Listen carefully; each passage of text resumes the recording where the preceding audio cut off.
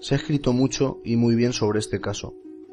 Algunos libros han sido prohibidos, como el del investigador que se entregó en cuerpo y alma a descubrir a los culpables, Juan Ignacio Blanco.